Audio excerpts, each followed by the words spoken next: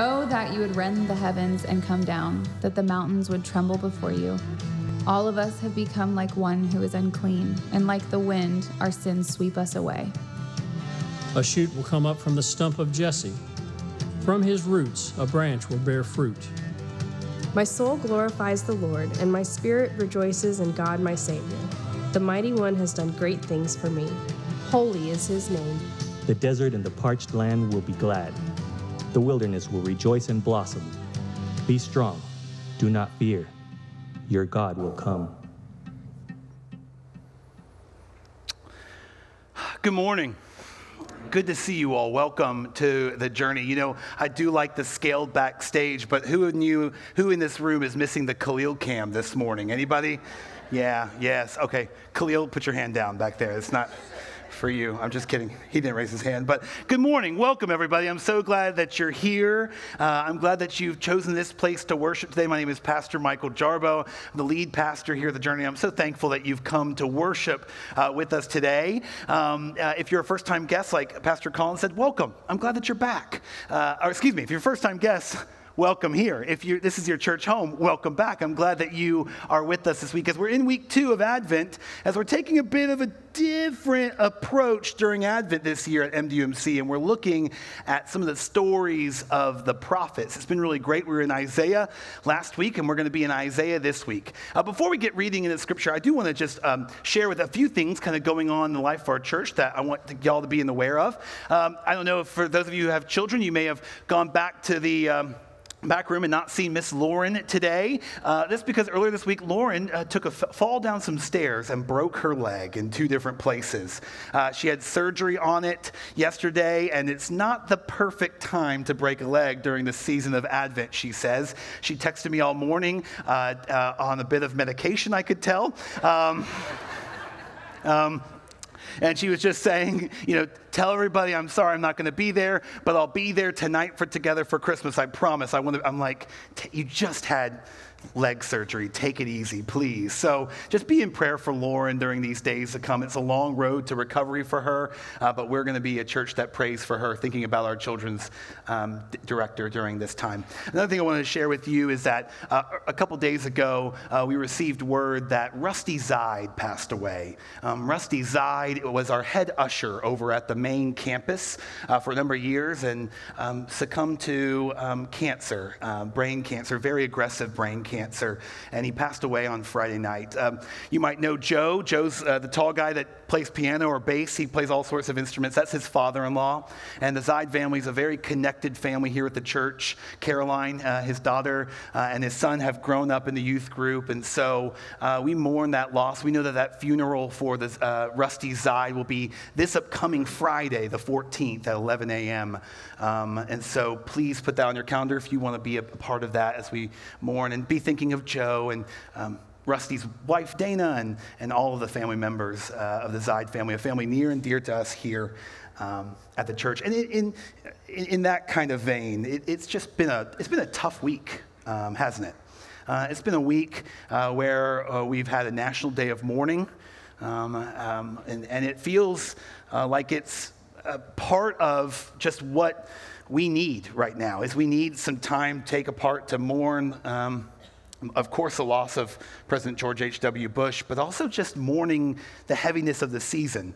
It's easy to throw lights up on our emotions, right? And just like say it's, it's going to be fine. But the truth is, there's some difficult stuff that we deal with during the season. I know there's people in our own community who are dealing with great loss, people who have moved into hospice care, people who are just sad because a loved one isn't around this Advent season. And so I thought, um, before we get started in today's sermon and read this Isaiah text, uh, a, a, text filled with hope, uh, that we can open and offer just a word of prayer before we get started. So let's pray.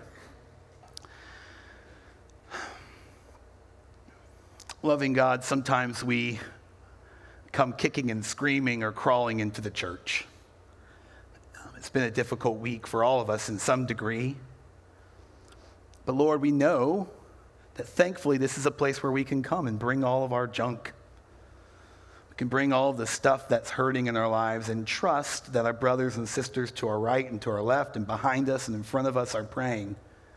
This is a community that prays. And so I ask, Lord, that this can still and always be a place where we can bring our setbacks, our difficulties, our sins, our doubts, our fears before you, trusting that you are God who never leaves us, trusting that the table is not somebody's table, but your table, and that we can come to it openly and freely, knowing that we can be nurtured and nourished by your body and your blood. Make that real to us today, Lord, as we come into this place. We praise in Christ's name. Amen. Amen. So, Isaiah, back at it. We were in chapter 64, basically at the very end. There's 66 chapters in Isaiah last week, and now we're going to go right back up to the beginning we're going to be in chapter 11. We're going to be reading verses 1 through 10. Uh, you may hear some uh, remotely familiar images that are associated with Advent, but just uh, take heart, as the scripture series calls, and, and, let these words sort of roll over you as you hear them. If you, if you have your uh, Bibles, feel free to open up. If, if not, you can follow along on the screens here. Friends, I'm glad that you are with us in worship. Here we go Isaiah 11, 1 through 10. A shoot will come up from the stump of Jesse from his roots, a branch will bear fruit. The Spirit of the Lord will rest on him, the Spirit of wisdom and understanding, the Spirit of counsel and of might, the Spirit of knowledge and fear of the Lord. And he will delight in the fear of the Lord. He will not judge by what he sees with his eyes or decide by what he hears with his ears, but with righteousness he will judge the needy. With justice, he will give decisions for the poor of the earth. He will strike the earth with the rod of his mouth. With the breath of his lips, he will slay the wicked. Righteousness will be his belt, and faithfulness a sash around his waist. The wolf will lie with the lamb. The leopard will lie down with the goat, the calf and the lion and the yearling together, and the little child will lead them. The cow will be fed with the bear. The, their young will lie down together. And the lion will eat straw like the ox. The infant will play near the cobra's den, and the young child will put his hand in the viper's nest.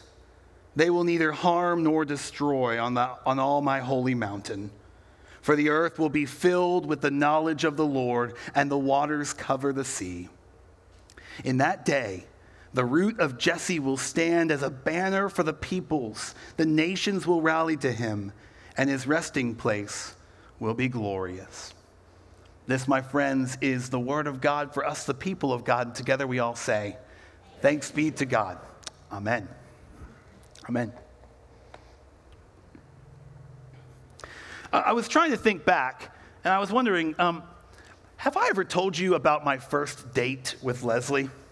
Uh, it happened 14 years ago this past week. Uh, we were eight years old, and we were going. I'm just kidding. We weren't eight. We weren't eight, but uh, it was just a little age game with me as I move in my 30s. Um, uh, we were. Uh, it was December 6th of 2004. And uh, I picked her up on time in my Oldsmobile Cutlass Classic, which I know I've talked about here before in the past. Um, I got there right on time. I walked inside uh, to her house where her father, who happens to be in the audience today, shook my hand firmly as I escorted his oldest daughter to my crummy Oldsmobile. Uh, we went and had a sketchy at best dinner at Hunan Dynasty, uh, which is a, a, Chinese place which uh, no longer exists because it disintegrated in an, a, uh, a, kitchen fire that's still unexplained today. Rest in peace. Um, it actually sat on the second floor of a, of a big shopping center, which below it had a blockbuster rest in peace, um, for other reasons. Uh, and we split chicken fried rice that night, I remember, and we read each other's fortune cookies, um, not knowing what our futures might hold for each other in high school. And, and then I uh, got us back in the car, and we, we headed to the AMC theater to go and watch the cinematic classic, Shrek 2. now, I know what you're thinking. Jarboe, come on. Shrek 2. That's the movie that you choose, and I want to explain fully to my logic to everybody here in this room today. I don't do scary movies. and I am not going to scream on this date that I'm trying to impress. So M. Night Shyamalan's The Village was out of the picture. Um, the other movies that were available were Troy, I think that's Brad Pitt maybe was in that guy, uh, Raising Helen, and uh, The Notebook, and those were no's. And you all are saying, hold again, Jarboe, The Notebook. That's a movie full of romance. Why not take her there? And I had thought about logic there as well. And just to let you know, I'm going to let uh, Ryan Gosling do his thing a few theaters over and let my date focus on me, okay? Um, and so. Um, the other, the, the other movie was Napoleon Dynamite, but I went opening night to Napoleon Dynamite, so that was out of the question too. Yes, great movie. I need to preach about that sometime. Um, so Shrek 2 was it and Leslie graciously approved. Um, and I guess things worked out, right? Um, so um, the whole Shrek series is, a, is, is great. Uh, in my opinion, have, hopefully many of you have seen at least one of the Shreks. Um, it's one of those, uh, one of the very first animated films to blur the lines between children humor and adult humor right? And you got to see all of your favorite nursery rhyme and like fictional characters uh, like in full form. Uh, but they weren't as you remembered them. The, the movie opens with this scene uh, with all these fairy tale creatures seeking refuge in a nearby swamp after Lord Farquaad banished them from the kingdom. And Shrek realizes when he's looking out about all of these fictional animals uh, that his home uh, his place of solitude has, has been compromised unexpectedly by this herd of fictional beasts. I mean, there were blind mice in his food. There was a big bad wolf in his bed. Three little homeless pigs were running all over the place, and a panicking Pinocchio, just to name a few. And this would not stand for Shrek. This big green ogre was set in his ways. The idea of living alongside fairy tales just couldn't be sustainable or even beyond that, believable. And I gotta tell you, I've had this scene sort of stuck in my head all week while reading this text from Isaiah, which shows you what goes into putting work into writing a sermon my, in my mind. It's just kind of plain weird, uh, especially during this chaotic season of Advent, where a bunch of my colleagues in the city who are preaching are preaching today on Mary and the angel Gabriel and the journey to Bethlehem.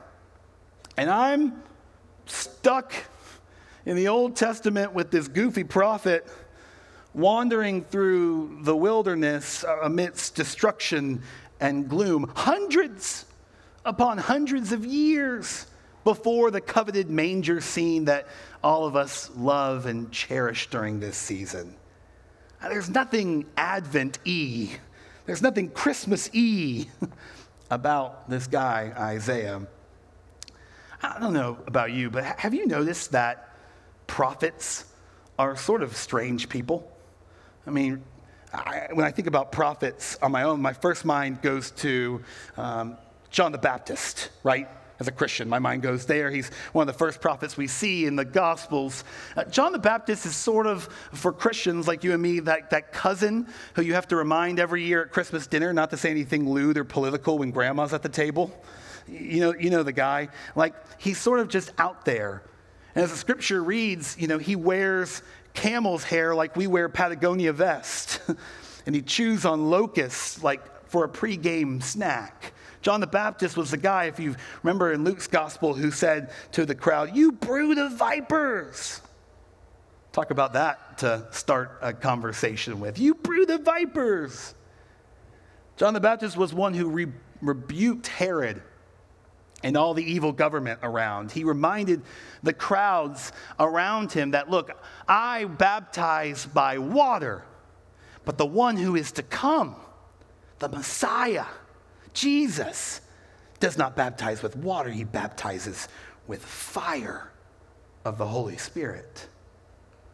I love the guy, but he's a bit odd. But you have to be kind of odd to be a prophet. I mean, as a prophet, you're tasked with this incredible, unique calling to receive the word of God and to speak it into existence. And a lot of times it's like, hey, everything that happened to you, let it go because there's something new on the way. And as scripture shows, God tends to come to those people who are pretty strange. God doesn't make prophets out of the mighty or the rich, not the power dealers of the day, not even the religious or civic leaders of the time, but the word of God comes through weirdos in the wilderness. Someone on the margins of humanity, someone we least expect to have something to say, somebody we've written off. So, who do you think in today's world are the prophets of our society? The Word of God does indeed come, but it might not be from who you expect or what you expect. So I had to keep that in mind this week as I, as I read this scripture because, like Shrek, I, I looked around my cozy Christmas decorated home and was interrupted as I read the text by this strange fairy tale that Isaiah is depicting in the scene. You remember the words I read earlier. I'll, I'll remind you. This is sort of my notated uh, version. He says, The wolf will live with the lamb, the leopard will lie down with the goat. The calf and the lion will be seen together. A cow will eat with the bear.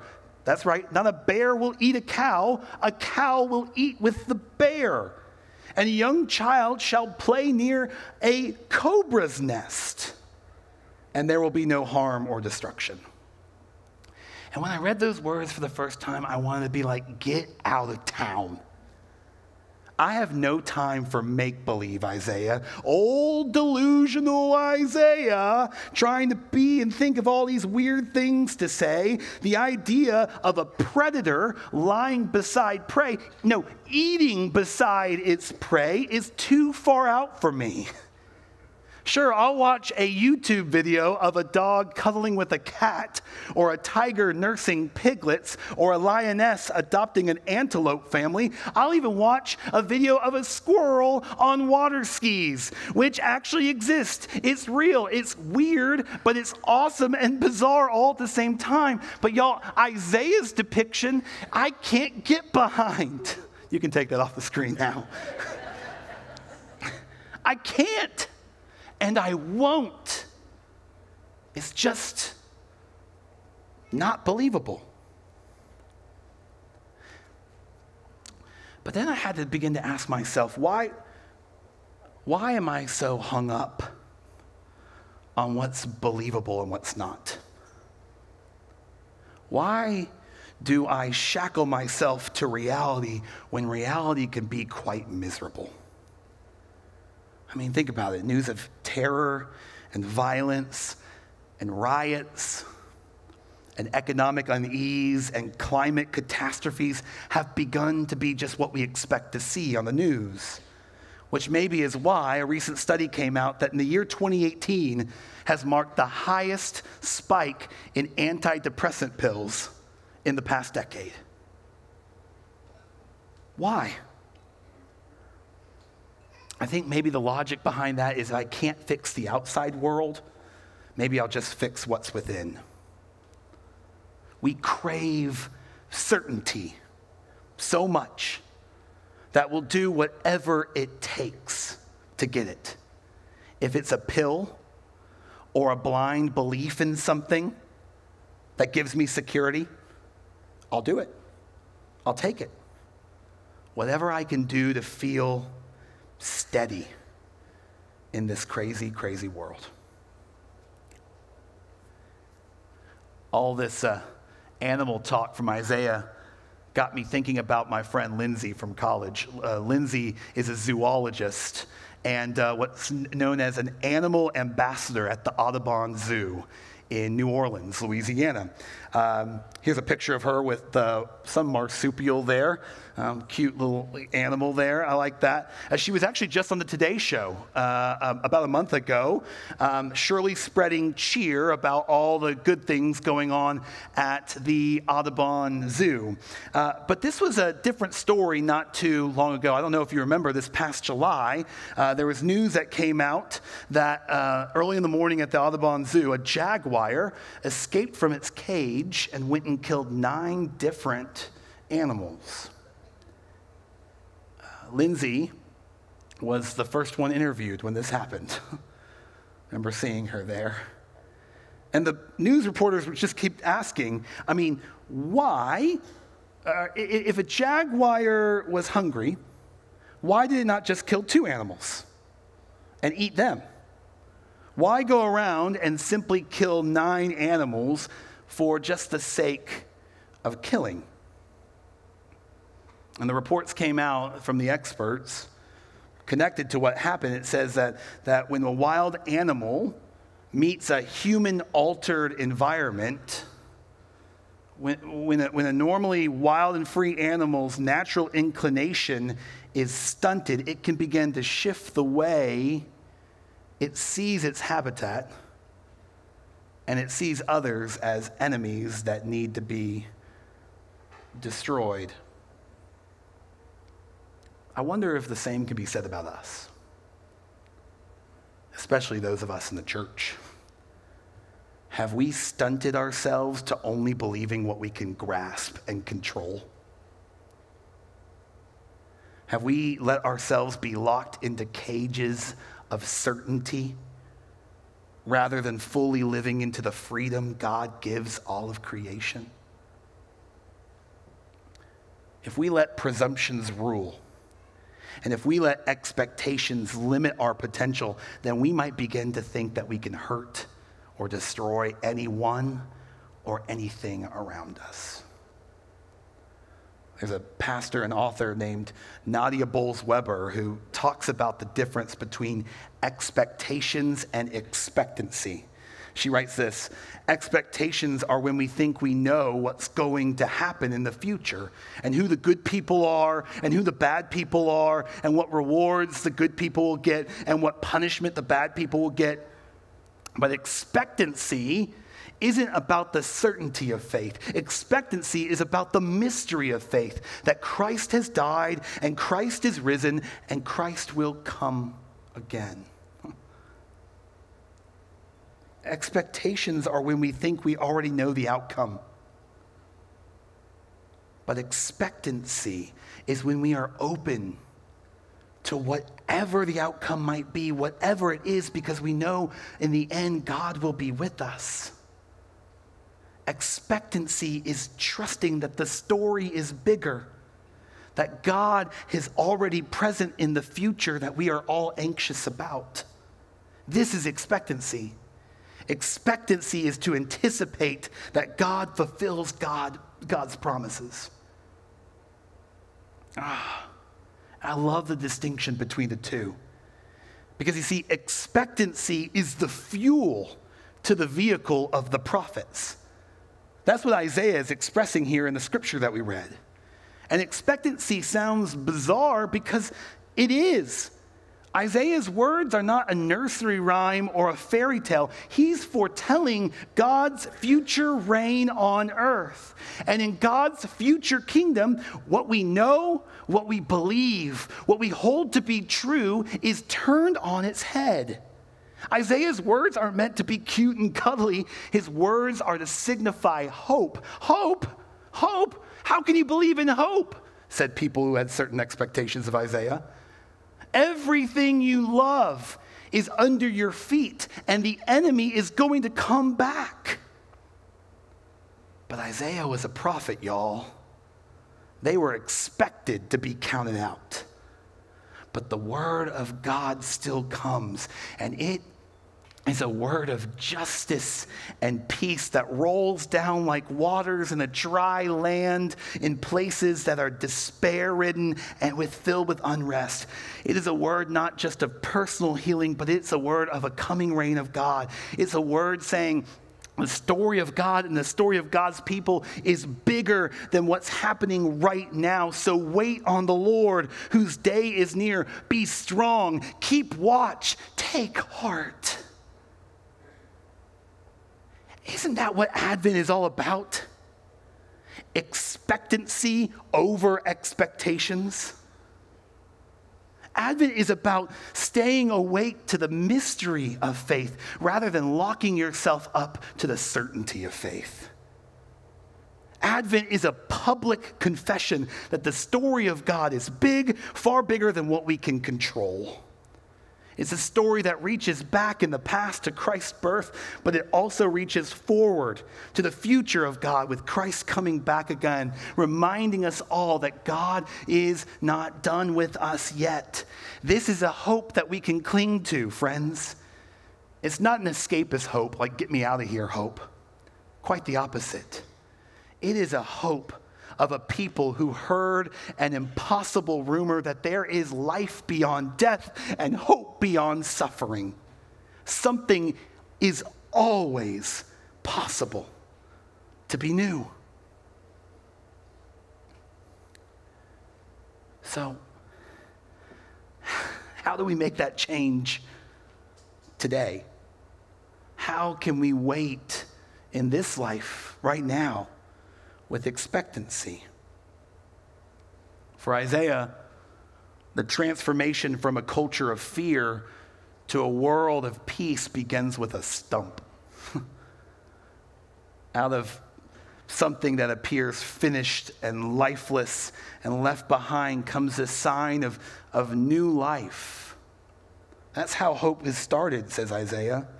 It emerges like a little tiny leaf in an unexpected place. And the stump of Jesse, which Isaiah speaks about, is, is filled with historical and theological value. King David's father was Jesse. And although King David's kingdom is being destroyed, the family tree is not done yet. From its roots, a, a branch will sprout out from the Davidic line. And, and we as Christians believe that from that root comes the birth of a new king who we know as Jesus. And this is a different kind of king. This is a king who rules with peace, one who judges with righteousness and brings justice to the poor and to the meek, one who lets aggression and weakness fall down and turn over, one who allows predator to lie, to eat, to nestle with its prey. What a sight! What a sight that will be. But how shall we see it? In the late 18th century, in his last days, Edward Hicks uh, was a Quaker, and he decided to go into painting. He, he was sort of just painting signs on different doors of different businesses, but he decided to go a little bit deeper and dig into the, uh, the practice of making portraits. And he was a devout Christian, being a, a, Quaker, and he loved, marveled at the words of Isaiah 11. And so he drew this painting, which is known as the Peaceable Kingdom. Maybe you've seen it before uh, somewhere. It's actually right now in, in Virginia in a, a museum. And if you look over there, all the animals are present. Every single one the lion and the goat and the, the snake and the leopard, the cow, all of them are there. And, and there's a child among them. But, but what's most notable is the scene going on to the left. It's a picture depicting William Penn in the Delaware Valley signing a peace treaty with the first Native Americans. It was a sign that Edwards Hicks saw of the possibility of potential peace in the earth in which he knew. So I, I wonder if you were the artist today, what would you draw on the left side of the picture? Would it be believable?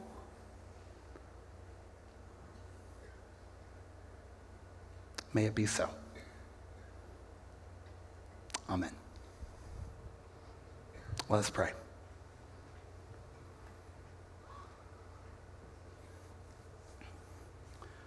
Loving God, we thank you for the candle of peace today. In this chaotic world that we live in, it's, and this chaotic time of life we live in, it's sometimes hard to stumble upon peace. But your prophets remind us that peace looks different than what we can comprehend, and that's okay. Because God's reign in and on our earth changes everything, it flips the script on what we know. And so may we ponder that this Advent. Ponder what the possibility of peace looks like, of justice looks like on earth. And as the song says, remind ourselves that it begins with you and with me. May we be vehicles of peace this week through all the world. Amen.